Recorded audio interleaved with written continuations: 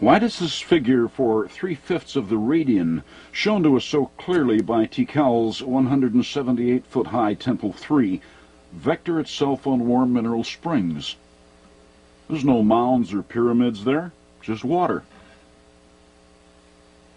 Is this perhaps the fabled Fountain of Youth, once sought by Ponce de Leon?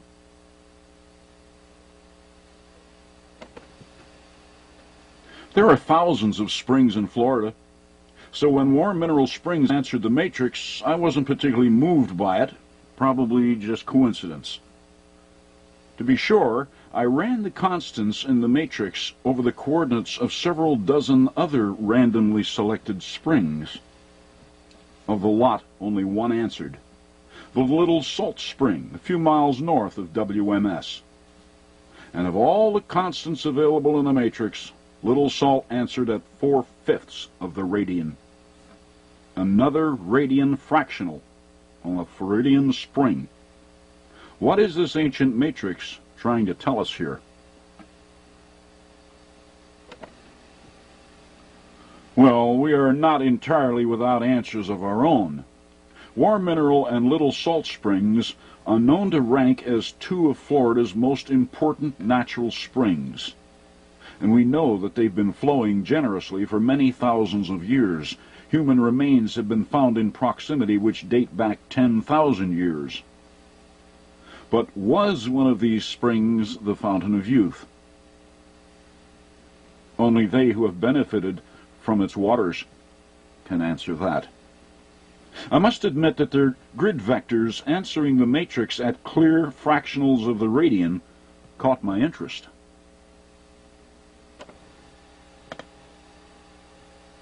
It also caught the imaginations of Floridian spring buffs, and soon other maps showing the state's springs were flowing my way. I ran their coordinates too, but they ignored the math. Until the day when the map for Mudhole Spring arrived. Mudhole is offshore, off the west coast of Florida, under 40 feet of ocean. Yet its upward flow of water is so powerful that its position is actually marked on NOAA's map of the region. The site is well known by local fishermen, too. I ran its coordinates. Mudhole Spring answered the probe at a grid vector of 5.72957. That's one-tenth of the radian. And we have a third major spring vectoring the matrix at a radian fractional. But Fountain of Youth? I don't know.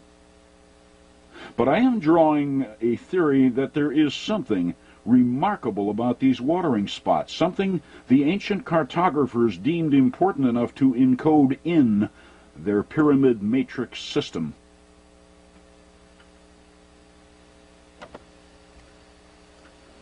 Which poses another question.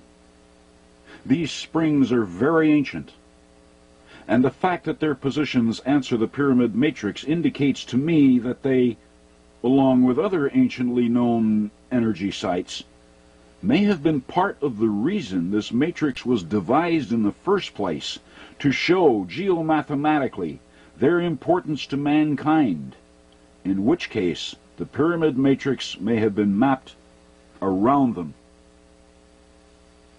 For any who might care to double check my findings with regard to these three springs, be careful of our maps. Present day maps are still based on the 1927 North American Datum, or NAD. On such maps, coordinates in Florida can be off by as much as a 100 feet. Correct them to our 1983 NAD. These are satellite corrections, and these are the positions which this ancient matrix answers. Do radian fractionals in the matrix show us things beneficial to us, to the Earth, or perhaps both? Dare we ignore such communications?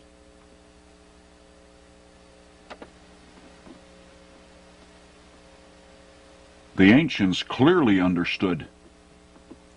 Now it's our turn.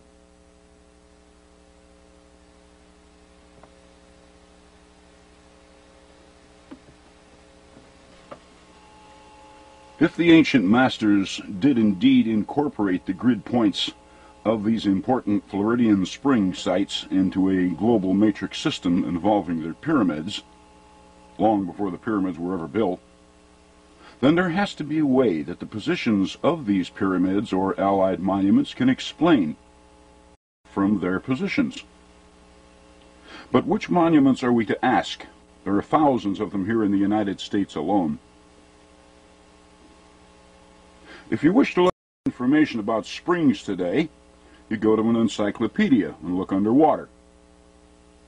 The same is true in the Pyramid Age, except their encyclopedia consisted of a mathematical language. What do we have in the matrix which answers water? How about a mound which is surrounded by water, like this one, the Shark Mound on North Bimini Island just east of Florida? It's called a shark because it resembles a lemon shark. The shark is made entirely of sand and is only a few feet high.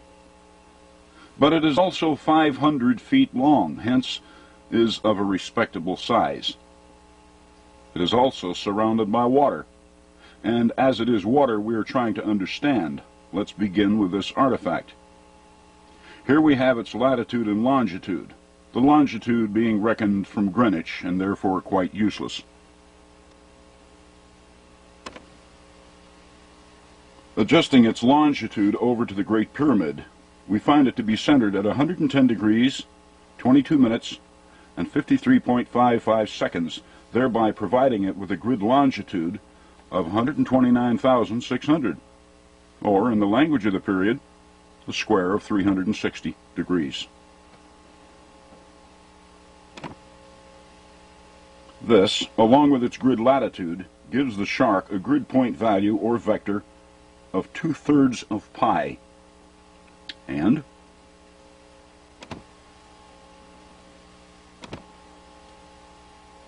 on the map, shark locates here.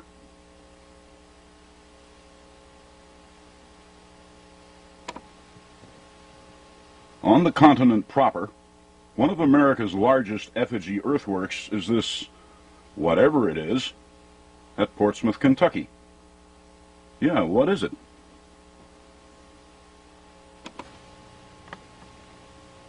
The only name it has in the formal record is Portsmouth Group A Earthworks, written in by Squier and Davis in the 1820s when they surveyed the site for the first time. Even then it was so ancient that erosion had cut several gullies across it. A 5,000 foot long what's it?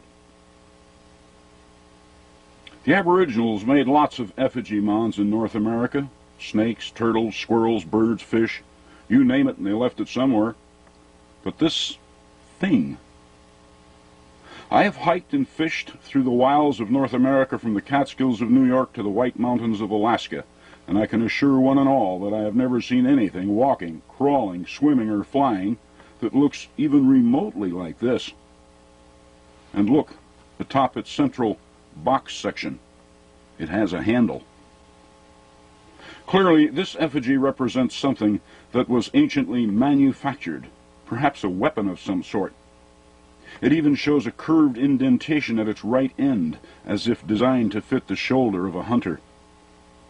Whatever it is, or was, this earthworks is worthy of suspicion. Why? Because it is only about 1,500 feet from a large river, the Ohio water again, and major water. So let's call this thing the device.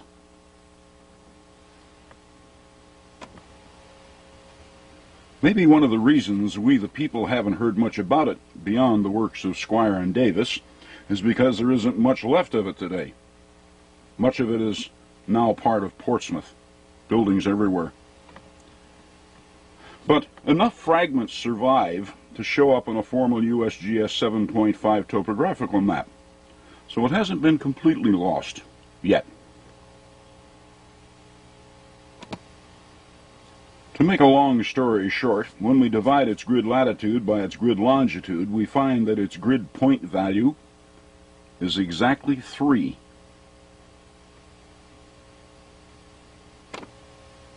Having that, we add the device to our map.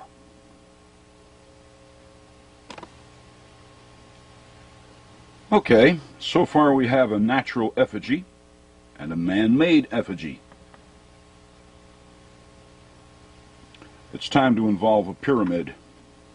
And the biggest one on the entire continent is that humongous heap of dirt at Cahokia, known as Monk's Mound. 1,037 feet long, 790 wide, and 94 high. But that's as we see it today. Originally, it looked more like this and was a hundred feet high, a real monster, half again as long as Giza's Great Pyramid. They who follow my work have already been through monks, so let's get right to its grid point value, which is 1.047, or one-third of pi. Interesting. One-third of pi at monks two-thirds pi at the shark, and a full three at the device. And oh yes, the water aspect, Monks is on one of the ancient flood terraces of the mighty Mississippi River.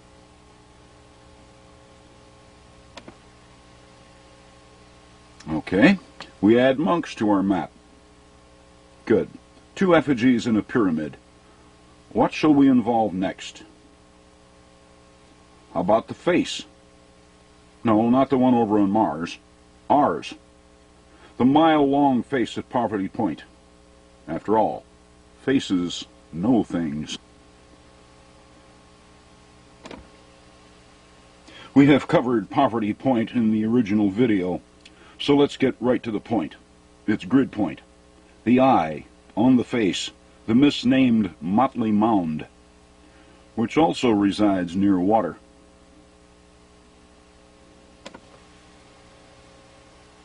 Its value in the matrix, 1.909859, or one thirtieth of the radian, another mathematical constant.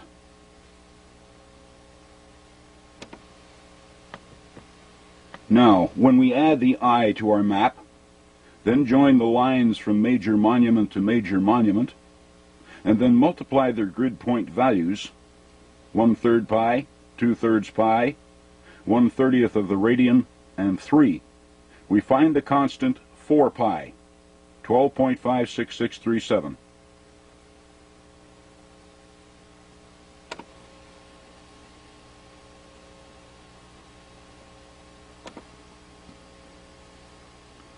Interesting. We moderns think of map grids being square or rectangular, not something that looks like a kite. But it is mathematically sound. Now, what do we do with it?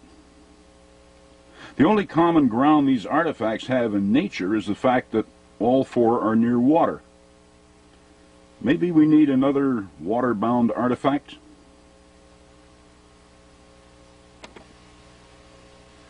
And I can't think of a bigger one anywhere than Florida's 5,500 foot long Panther Mound in the Everglades. Remember it from the previous video? The mother of Giza's Sphinx. North Bimini's Shark Mound was completely surrounded by Atlantic Ocean. Florida's Panther Mound is completely surrounded by the waters of the Everglades.